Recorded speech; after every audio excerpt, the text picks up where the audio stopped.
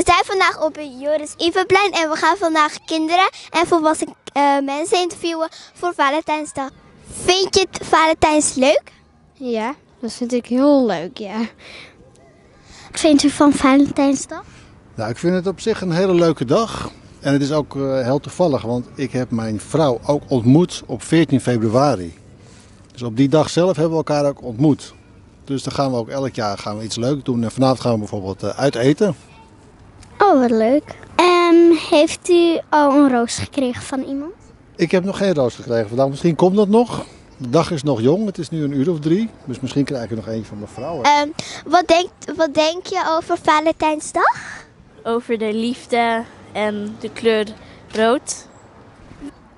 Weten jullie um, waarom Valentijn zo leuk is? Uh, mensen worden gelukkig. Je kan elkaar cadeautjes geven. Hetzelfde als deze alle beide. Wat vindt u zo bijzonder aan Valentijns? ik vind Valentijn niet zo bijzonder.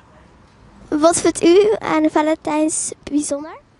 Dat je even stilstaat bij uh, lief zijn voor elkaar.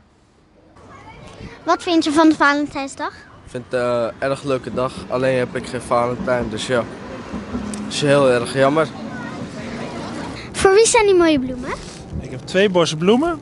Ik heb er eentje voor mijn vrouw en mijn kinderen voor Valentijnsdag. En ik heb er eentje meegenomen voor de medewerkster. Die werkt morgen vijf jaar bij mijn zaak. Dus die kan ik verrassen met een mooie bos bloemen. Oh, bedankt. Mogen we het zien? Natuurlijk.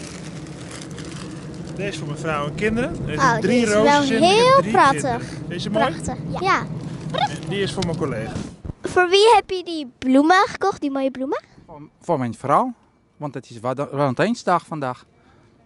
Oké, okay. waar denkt u over van Valentijnsdag? Ja, het is een leuke dag om uh, bloemen, bloemen, te geven. Dit was het verslag van Valentijnsdag. Tot de volgende keer. Doei.